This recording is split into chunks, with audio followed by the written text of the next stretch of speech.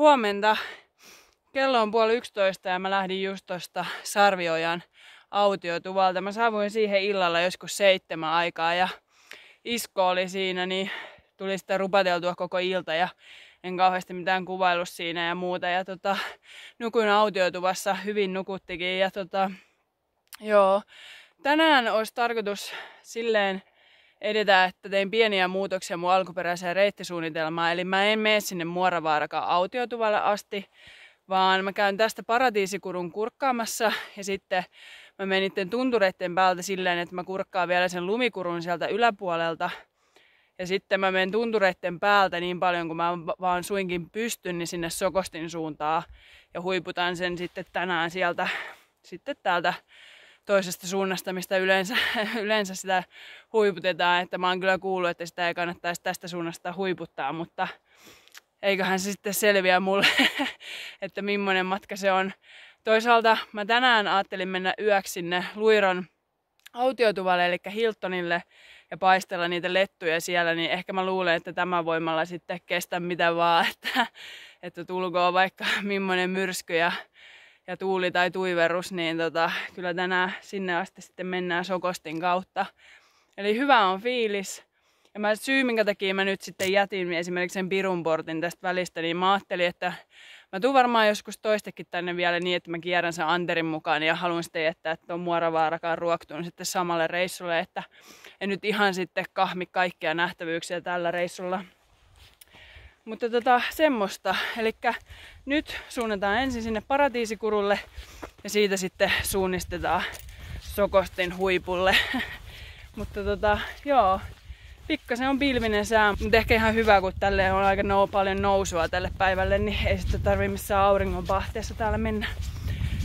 Joo, mutta jatketaanhan tässä matkaa ja jos en sanonut, niin 27. vaelluspäivä lähti käyntiin, että kyllä täällä on saatu painaa jo jonkun aikaa.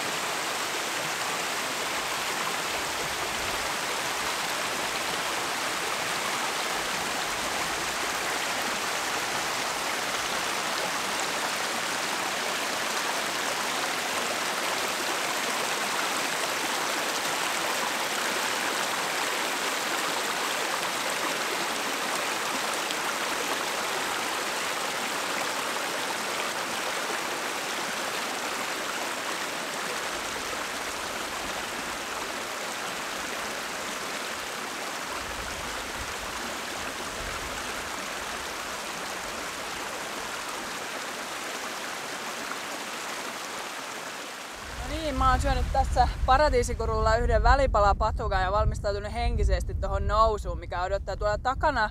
Itse asiassa näkyy se reitti, mikä me lähti sinne Pirun portille ja Muora Vaarakan ruoktulle. Että tota, täällä Suomessa ei kauheasti noita siksakkiteitä näköjään tunneta. Mä en tiedä mikä se oikea termi on, mutta mutta niin kuin muualla maailmassa yleensä kun mennään rinnettä ylös, niin mennään silleen vähän niin kuin siksakkia, että tota, ei olisi niin raskasta. Täällä Suomessa se on sitten vaan suoraan ylös. Mutta tota, mä lähden itse asiassa tähän toiseen suuntaan mun taakse.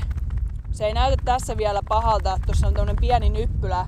Niin sen yli ja sitten siitä kipuamaan tonne lumipäälle ja, ja siitä sitten lumikurun yläpuolelta kohti Sokostia, että katsotaan miten käy. Voi olla, että tulee todella mielenkiintoinen reissu tästä loppureissusta, että siinä on semmoinen melkein pari kilometriä semmoista, semmoista tota, maastoa ennen sitä Sokostin huippua. Että Voi olla, että huumori loppuu kesken, mutta tota, mä yritän mennä niiden lettujen toivossa sitten ja en mä tiedä, se ottaa sitten sen aikansa minkä ottaa, että tässä on koko vuorokausia aikaa, että tota, vaikka menisi sitten yövuoroonkin, mutta eiköhän me selvitä, kunhan mä en loukkaa, niin kaikki on ihan kunnossa, mutta joo, semmoista. No, mä lähden nyt kipuamaan tonne ja katsotaan miten kunto riittää.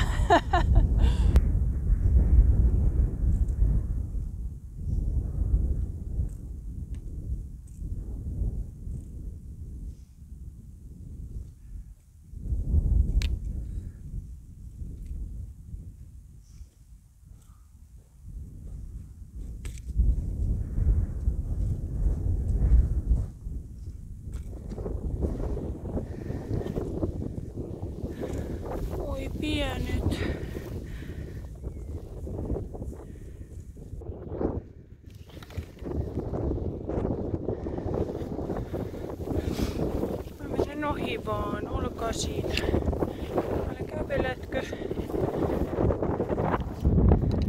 Kun söpöjä.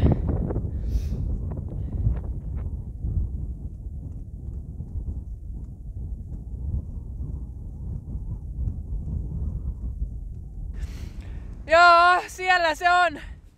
Mihin mä sojotan? Tonne päin. Ihan uskomaton reissu ollut kyllä. Kyllä nää niinku onne ja ilon kyyneleitä, mitä tässä tulee, että niitä ekan kolmen päivän jälkeen, että jos joku olisi sanonut mulle, että kyllä mä tänne asti pääsen, niin en olisi varmaan uskonut. Ihan uskomaton juttu kyllä. Vielä pitäisi päästä tehty perille, että kannattaisi varmaan säästää nämä kyyneleet siihen, että reissu on virallisesti loppu, mutta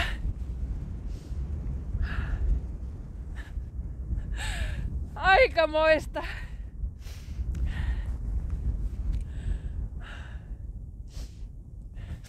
Ei tämmöistä fiilistä saa muuta kuin itse kävelemällä, että suosittelen kyllä kokeilemaan. Oho. No joo. Eiköhän suunnisteta sitten tonne ihan virallisesti tonne Sokostin päälle.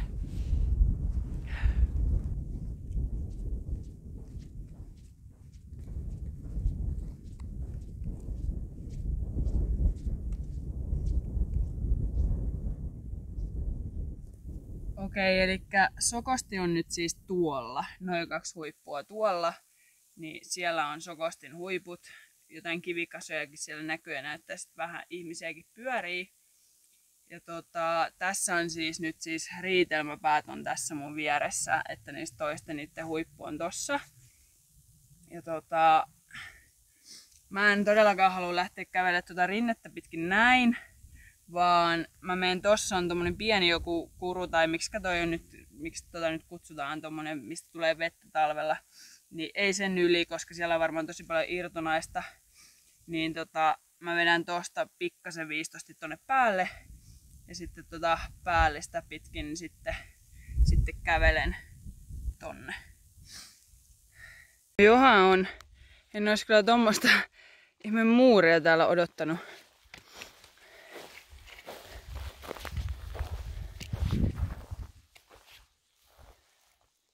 Joo, tommosenkin joku on tänne rakentanut. Mutta siis niin, tosta noin ylös jostain. Katsotaan miten käy. Itse asiassa tässä just mistä sulamisvedet niin valuu, niin tästä oli aika hyvä tulla, koska tässä on varmaan niin kovat virtaukset, että tää on huuhtonut niin suurimmat irtokivet pois. Niin tässä pääsee aika hyvin kikkailemaan niin eteenpäin tämmöstä. Toki sitten tuolla ihan ylempää ei varmaan enää onnistu, mutta, mutta tämähän menee ihan vallan mainiosti. Että katsotaan vaan, että millaista tuolla päällä sitten on. Niin kuin mä sanoin, että nyt tulee vähän hankalampi kohta, mutta toki jos ottaa tosta tonne ja sitten tosta taas tonne. Mä kyllä ihan mielelläni haluaisin päästä sanomaan, että ei tämän sokosten huiputtaminen tästä suunnasta ole mitenkään paha. Mutta nyt mä luulen, että mä keskityn sen verran, että pistän tämän kameran pois ja pääsen tonne vähän paremmalle maalle. Teemme nyt sitten nilkat ympäri tässä ihan viimeisillä metreillä. Siellä näkyy Luirojärvi. Sinne olisi tarkoitus vielä tänään mennä yöksi. Näyttää kyllä aika pitkälle matkalle loppupeleistä täältä Sokosten huipulta sinne. Että en mä ole vielä huipulla, mutta kävelen täällä par aikaa tonne. Kyllä tuolla toi masto näkyy. Mä olen tässä jo ihmettelemään, että huiputaanko mä ollenkaan oikeita tunturia, kun ei tää ollut vielä niin paha kuin mä oon saanut ymmärtää. Että, mutta toisaalta ehkä tässä on ihan sama kuin Vätsärissä, että ihmisiä pelotellaan ihan turhaan tästä. Mutta ehkä niinku semmonen niinku vastuuvapauslauseke tähän väliin, että mun reppu painaa tässä kohtaa enää noin 10 kiloa. Mulla on polkujuoksukengät, millä on tosi näppärä ja ketterä mennä täällä kivikossa. Minkä lisäksi tietysti ää, mulla on useampi sata kilometriä alla, että mun kuntokin on aika hyvä. Mutta tota, joo, täällä mä tuun pikkuhiljaa eteenpäin.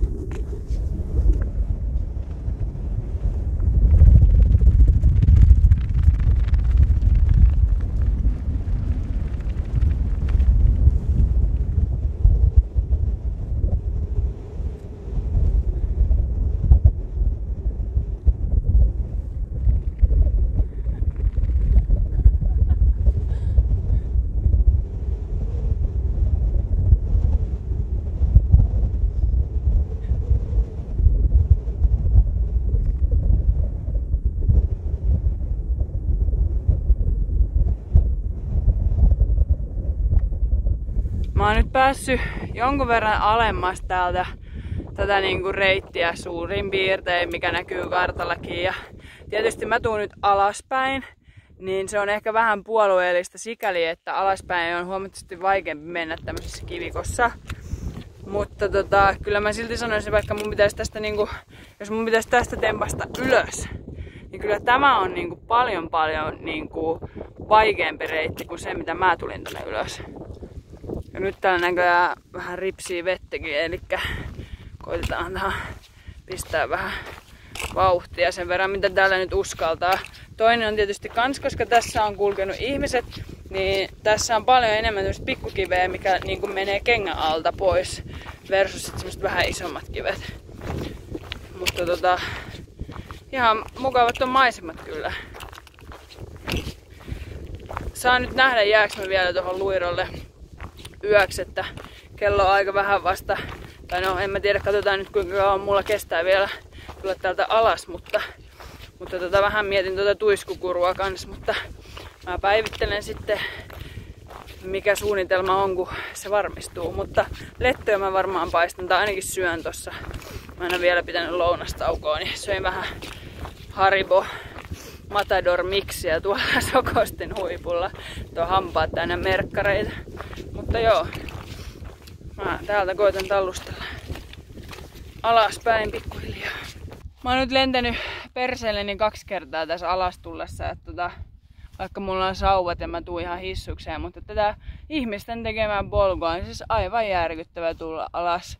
Tää on niinku täynnä tämmöistä irtokiveä.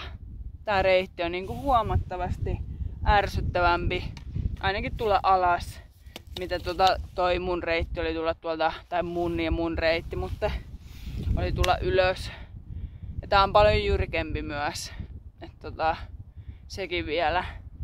Ja kyllä mä mietin, jos mä menisin tätä ylös, niin kyllä tää on mun mielestä ärsyttävämpi reitti silti. Mutta tota, tää on sitten tietysti vain nyt mun mielipide, mutta, mutta joo. Ja en ilman sauvoja lähtis kyllä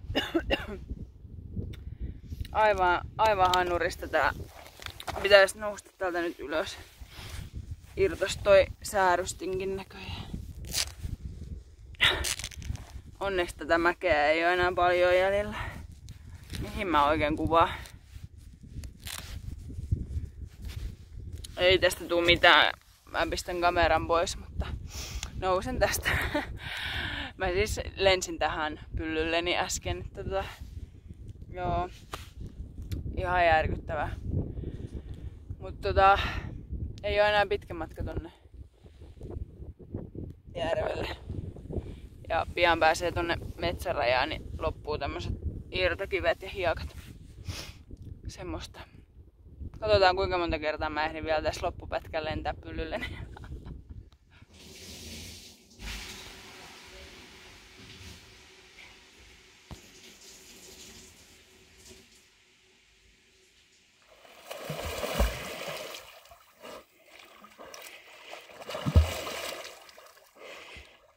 Se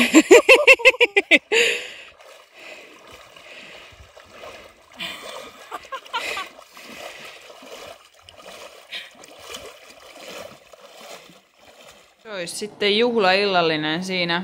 En mä kauhean montaa tämmöistä eri retkiruokaa syönyt, mutta tää on kyllä mun lemppari. Säästin ihan viimeisen illan kunniaksi. Tai voi olla, että huomenna, jos ei jaksakaan ihan kiilo päällä asti, niin, niin jään sitten johonkin. Mutta nyt syödään tätä ja sitten myöhemmin paistellaan vähän lettuja. Tää eka lettu meni kyllä nyt ihan blörineksi. Tää ei ole tarpeeksi kuuma tää pannu. Mutta kyllä sen syö.